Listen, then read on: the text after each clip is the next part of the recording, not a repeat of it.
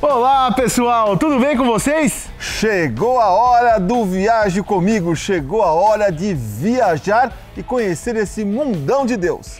E o programa de hoje vai dar muito o que falar. Nós não vamos conhecer um, dois, três destinos, vamos conhecer diversos lugares ao redor do mundo que têm muitas coisas em comum, não é verdade? Por falar nisso, o Hum. que, que tem em comum entre um trem e uma catarata?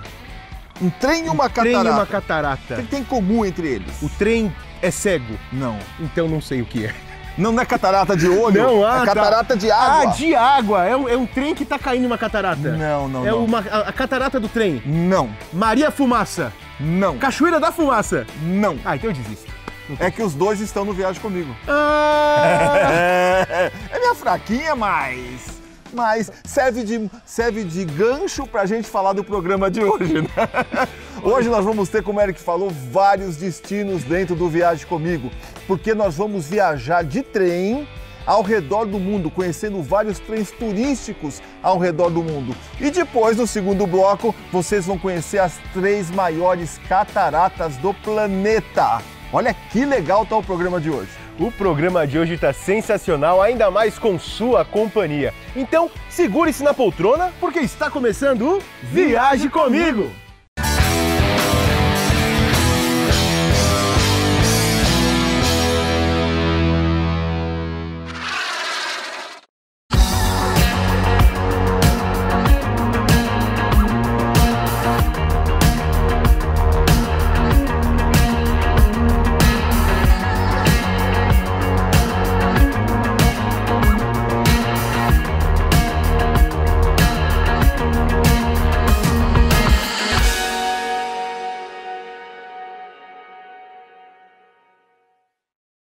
Partir do século XIX, os trens ficaram populares pelo mundo inteiro. E até hoje, países como Estados Unidos, França, Índia têm o transporte ferroviário como seu principal meio de transporte terrestre. Muitas dessas linhas hoje só operam dedicadas exclusivamente ao turismo, tanto pela história do trajeto quanto pelas paisagens que você vê pela janelinha. Então vamos começar nossa volta ao mundo por um trem muito famoso lá na Europa. Na Europa, talvez o trem turístico mais famoso seja o Oriente Express, uma composição centenária que já foi tema de filmes e livros de mistério.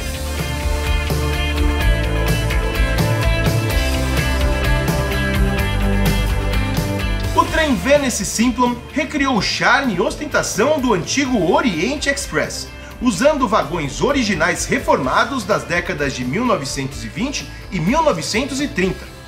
Trem luxuoso e caro e que opera somente alguns meses do ano. Atualmente, percorre o trajeto entre a Inglaterra e a Itália. A mesma empresa que opera o Oriente Express também oferece trens de luxo em vários continentes do mundo, inclusive na Tailândia, em Mianmar e no Peru. O seu trecho mais famoso na América do Sul faz o percurso entre Cusco e Machu Picchu. Para chegar à cidade perdida de Machu Picchu, você precisa ir de trem. Não existem estradas para Águas Calientes, ou como também é conhecida, Machu Picchu Pueblo, o povoado mais próximo das ruínas. Existem outras formas de chegar lá, mas a mais segura e rápida é de trem pelo Vale Sagrado. Vamos para Machu Picchu? Vamos! Vamos para Machu Picchu e vamos de trem. Olá! Muito bem. Alô, saludos a Brasil! Vamos lá ver. Olha só que legal, gente. Olha só como o, o vagão do Vista Dome, ele é assim, tem a janela, as mesas e ainda tem a janela aqui, ó, em cima, para você não perder nenhuma vista. Afinal, a gente vai por um vale, então temos que ver as montanhas, né? Nada melhor do que ter uma janela aqui em cima pra gente assistir tudo de camarote.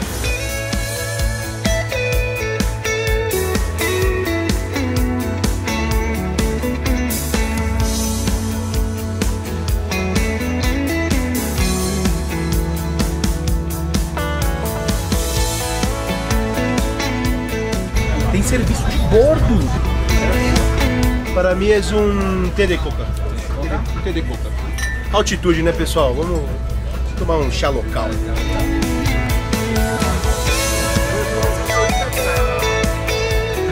cenoura, chá quentinho. Gente, top, top, top, top, top.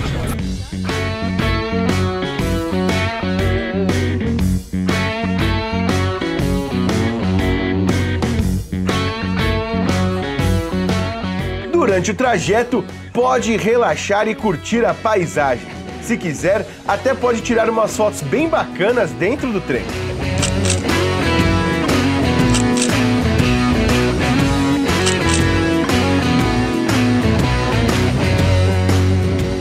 Só para você ter uma ideia, existem três categorias do Pearl Rail, certo?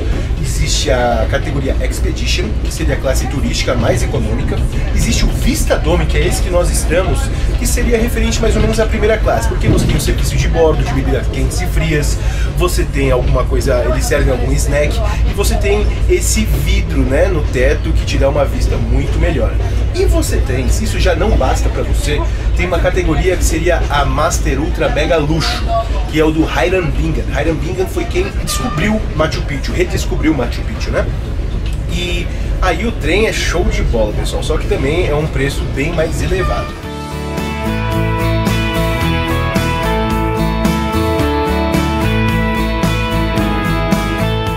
Na América do Sul, muitos países possuem seus trens turísticos. No Equador, por exemplo, existem várias rotas que oferecem diferentes experiências. Os principais trajetos são os que percorrem a Cordilheira dos Andes e a famosa Avenida dos Vulcões.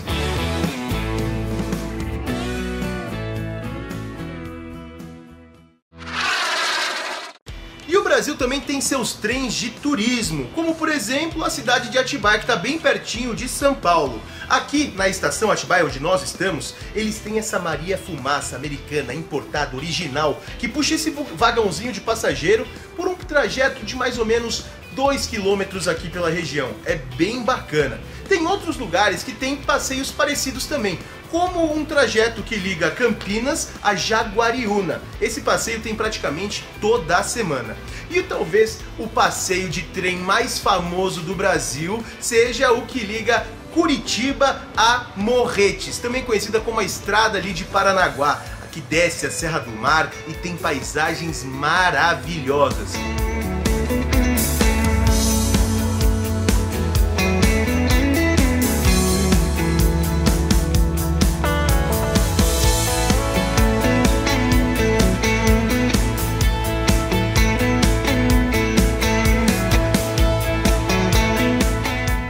Esse é um carro diferenciado, é um trem de luxo, é, um, é uma categoria que você pode escolher. Ela tem bebidas incluídas, tem lanchinho, tem guia, vai ter almoço incluído, vai ter um city tour em Morretes incluído, além de você viajar com todo o conforto, que um vagão de luxo pode ter, poltrona, sofazinho. Daqui a pouco a gente começa a descer a serra. Aí sim vocês vão ver a verdadeira paisagem desse lugar. Não é à toa que foi eleito um dos trens mais lindos do mundo, um dos passeios de trem mais lindos do mundo. Vamos lá, vamos curtir essa viagem com a gente.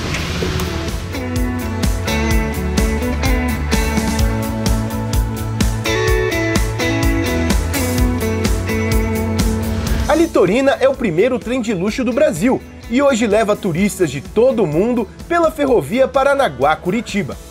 Esse trajeto pela Serra do Mar passa por 41 pontes, 13 túneis e tem paisagens maravilhosas.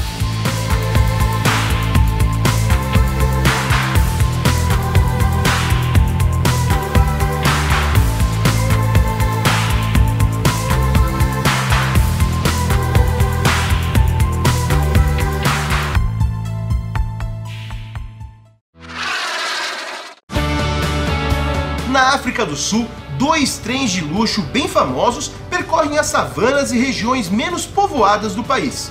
O luxuoso trem Rovos percorre trechos na África do Sul, Botsuana e Zimbábue, em viagens que duram vários e vários dias. Um desses trechos leva até as famosas Cataratas Vitória, a maior queda d'água do continente africano. Esse trem também faz várias paradas pelo caminho, e oferece experiências exclusivas, como sobrevoos e safaris fotográficos.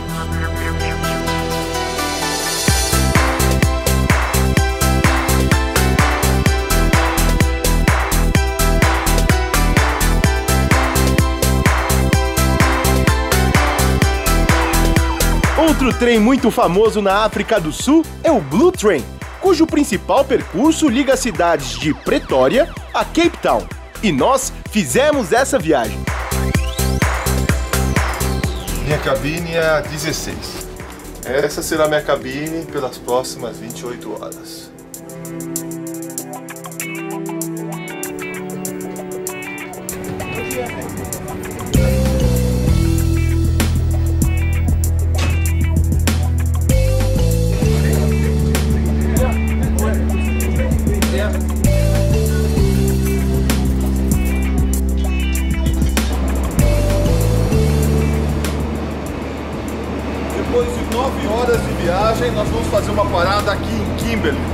Aqui foi o palco de uma das maiores corridas de diamantes que o mundo já viu.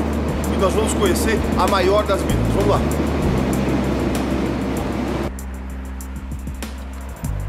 Essa aqui é a maior mina de Kimberley, a mina Big Hole, ou Grande Buraco. Dá para imaginar por quê, né?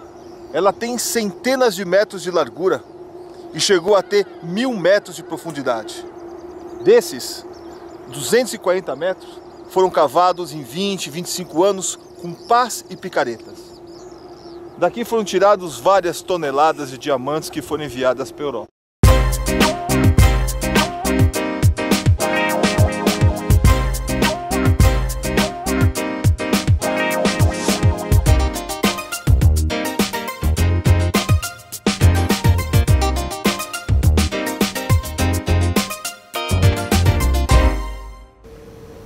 De um dia de muitas paisagens aqui no Blue Train, da parada na mina de Kimberley, chegou a hora de descansar, de dormir. Vocês viram que a nossa cabine já se transformou num quarto, a cama bem confortável, travesseiro macio. Agora é dormir, descansar, porque amanhã tem muito mais. Nós vamos chegar na cidade do Cabo. Boa noite.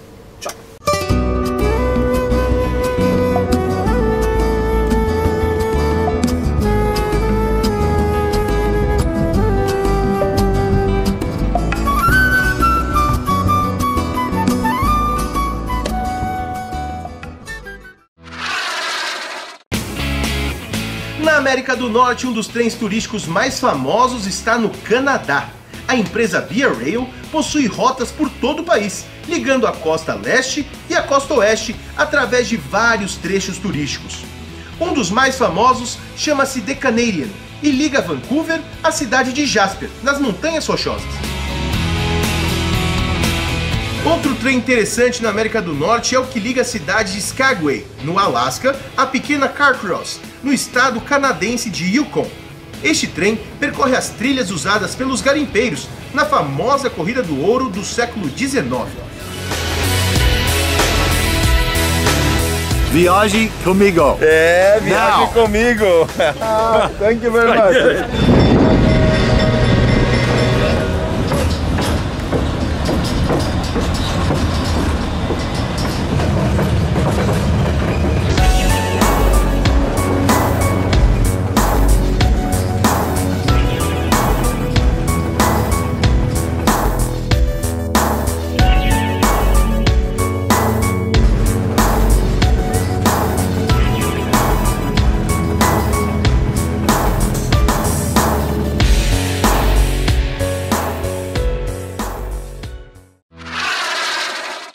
Saudade de andar de trem. Eu lembro quando você me levava, quando eu era criancinha, me levava naquela Maria Fumaça, fazer É, aquela Maria Fumaça que ele gravou em frente no, no Na estação Atibaia. Atibaia. é onde ele andava quando tinha 3, 4 É anos, né? verdade. Ele pedia todo domingo para ir para lá. E se você vier para Atibaia, passe na estação Atibaia, que é um lugar que vale a pena conhecer.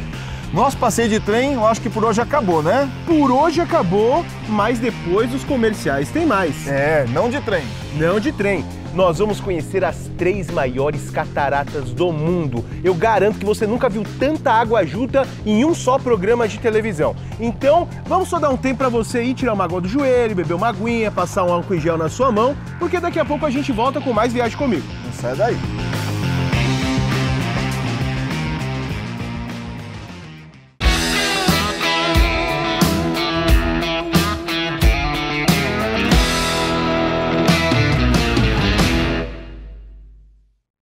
Foi rapidinho, não foi? Já estamos de volta aqui com o nosso Viagem Comigo, preparados para viajar um pouquinho mais com vocês. E agora chegou o momento de conhecermos as três maiores cataratas do mundo. É bonito o nome, é, é imponente. Muito, é muito bonito. E as três maiores cataratas do mundo são? Ah, assiste aí.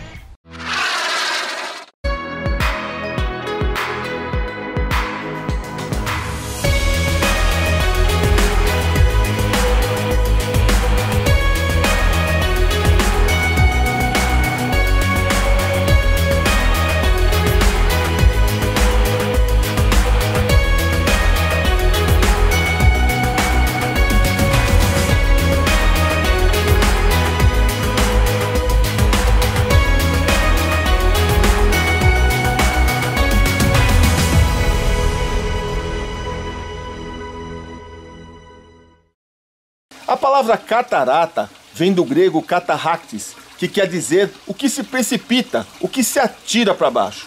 Na minha opinião, não tem definição melhor para esse fenômeno da natureza que inclui gravidade, rochas e muita, muita água. Durante as minhas viagens, eu tive o privilégio de conhecer as três maiores cataratas do mundo e hoje eu quero apresentá-las para você. No final, você decide qual a mais bonita e pode incluí-la na sua próxima viagem. Vamos lá? A primeira delas fica na fronteira entre os Estados Unidos e Canadá, perto da cidade de Toronto. São as Cataratas do Niágara. Seu nome significa na língua nativa águas que trovejam. Ela foi vista pela primeira vez pelos europeus no século 17 mas só depois da Segunda Guerra Mundial se tornou um relevante ponto turístico. São compostas por três quedas, que juntas têm um volume de água superior aos 2.400 metros cúbicos por segundo. Sua altura máxima é relativamente modesta, não passando dos 50 metros. No entanto, a sua extensão supera um quilômetro. No inverno, as baixas temperaturas congelam partes das cataratas, criando um espetáculo único.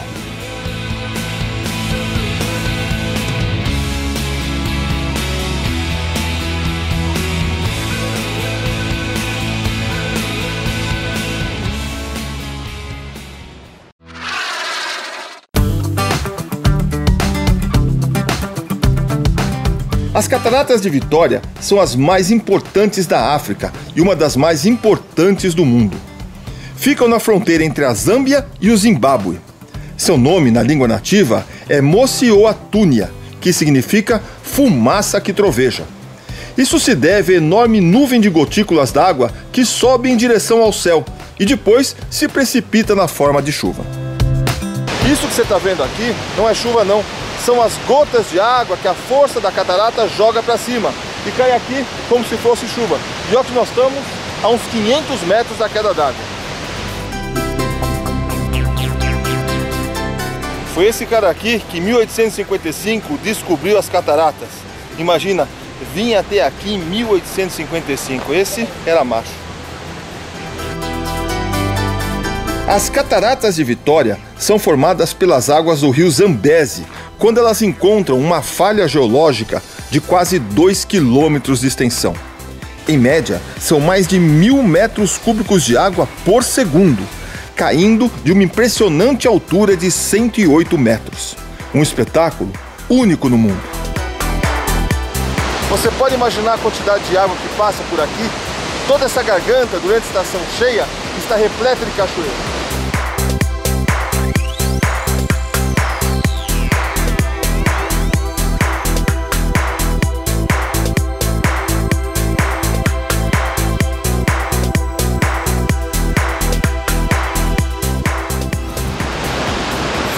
Lugar maravilhoso, mas eu tenho certeza que a melhor vista das cataratas não é daqui, é lá de cima. Vamos lá?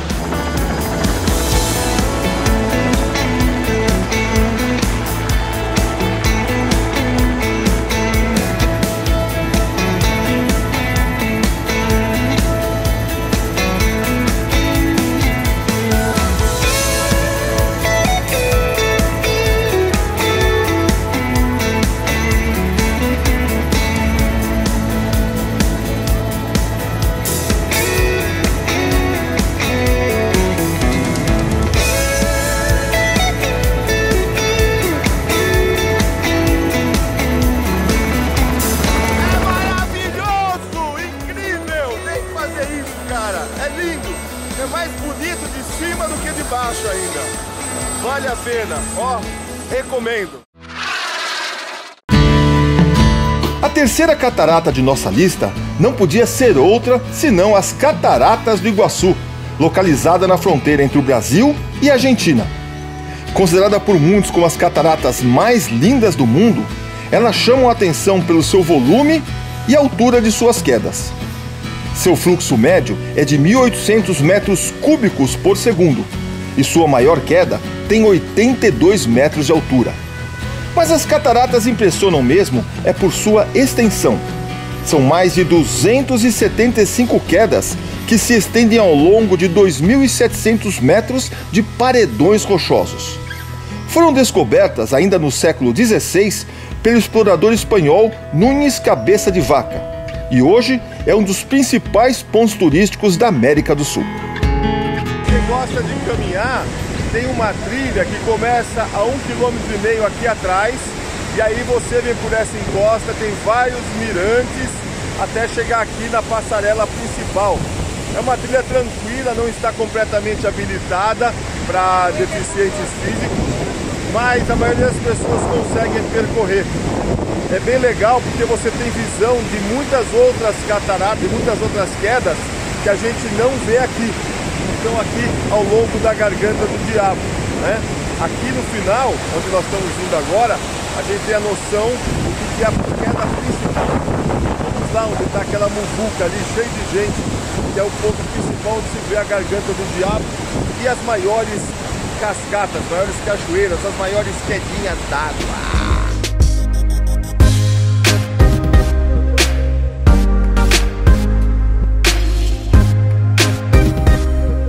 Ali naquela garganta acontece um passeio interessante, chama-se Macuco Safari. Os botes de borracha fazem literalmente um raft ao contrário. Eles saem lá debaixo do rio e sobem até aquela cachoeira ali. E ali literalmente você toma um banho de cachoeira. O barco entra embaixo da cachoeira. Eu já fiz, adorei e recomendo.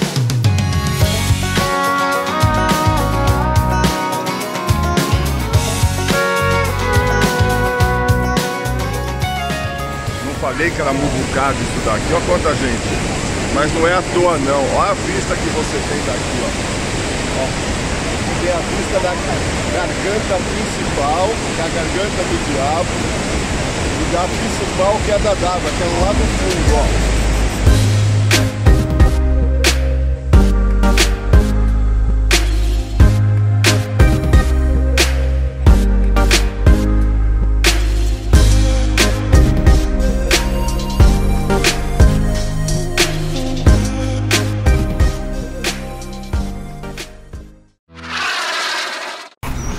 Água até aqui, cara. Dá uma olhada.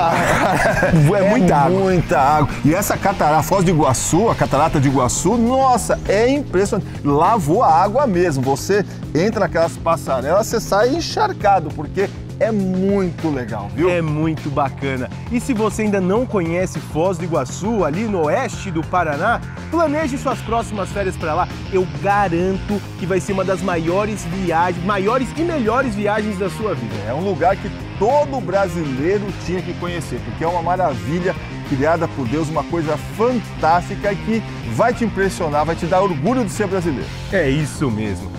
E pessoal, infelizmente o programa de hoje está terminando. Eu sei que você gostou de conhecer todos esses destinos, tanto de trem quanto os destinos de catarata, e já está esperando o programa da semana que vem. Você sabe para onde a gente vai? Eu sei, dá uma olhada aí.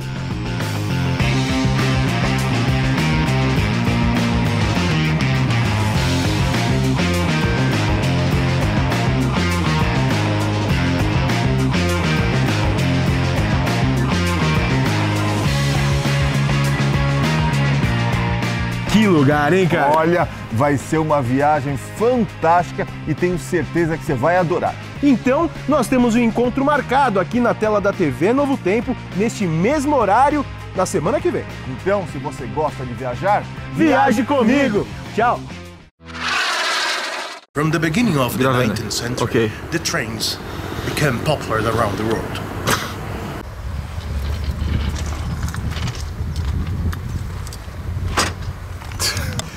No século XIX, os trens eram muito populares na América do Sul. O Viaje Comigo tá esperando você se inscrever no canal pro mundão conhecer. Se você preferir, pode clicar aqui ou na Gold Trip pra viajar para ali.